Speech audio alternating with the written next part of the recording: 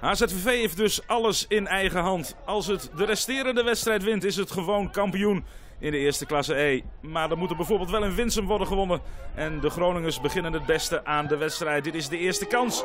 Goede poging van Rick Schapok. En doelman Hidde Streuker ja, hoeft eigenlijk niet in actie te komen. De bal gaat naast.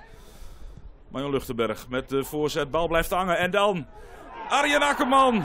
0 tegen 1. De eerste kans in de wedstrijd voor HZVV is direct raak.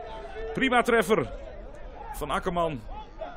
Ja, er staat uh, Frank Strijker nog een klein beetje in de weg. Het zicht wordt ontnomen voor doelman Gerben Bouwman.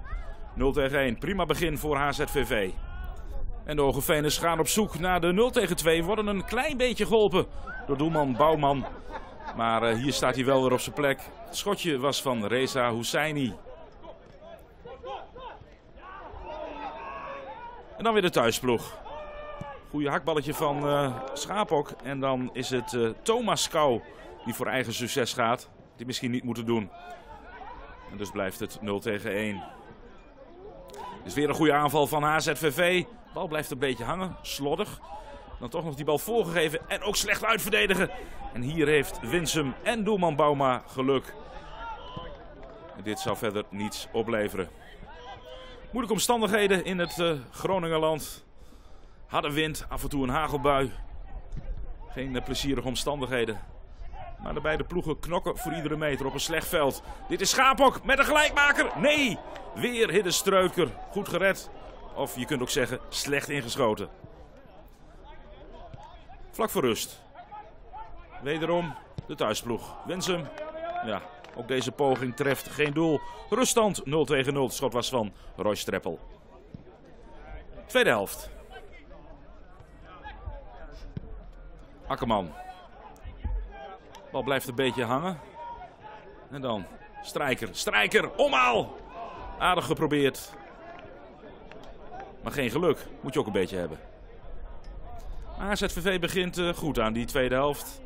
Eerste kansjes zijn voor HZVV zijn voor Strijker.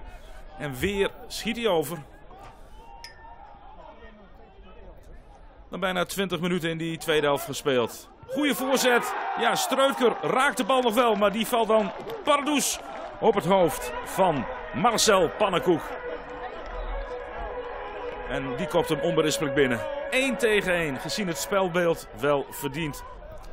Winsum is zeker niet minder. Zoekt de aanval ook naar de 1 tegen 1. Streuker goed opgelet, goed gered. En in tweede instantie gaat deze bal naast. Het schot was van invaller Wouter Bloem. En dan vlak voor tijd weer een kans voor Winsum. Weer gaat die bal mis. Dit keer was het pannenkoek. En dus lijkt de wedstrijd uit te draaien op een 1-1 gelijkspel. Concurrent Oldeveste 54 staat voor. En dus lijkt de voorsprong van HZVV te slinken. Maar dit is drie minuten voor tijd. Husseini. Goede voorzet. En dan doet doelman Bouwman dit. Hij legt de bal pan klaar. Voor de man die voor het eerst dit seizoen in de basis staat. Damon Doldersum. En hij is alert. Tikt die bal goed binnen. En dus wint HZVV bij Winsen met 1 tegen 2. En speelt Olde Vesten nog gelijk. En komt het kampioenschap dichterbij. Ja, laten we het hopen. In ieder geval, het was wel spannend. Uh, ja, zo, als je net twee, uh, drie minuten voor tijd dat je doelpunt maakt, dan, uh, dan, ja, dan is het wel, misschien wel het geluk van de kampioen. Ja, want HZVV heeft nu vijf punten voorsprong op zowel de Olde Vesten als Dragste Boys. Drentina won thuis van Blauw-Wit en stelt de degradatie nog een weekje uit.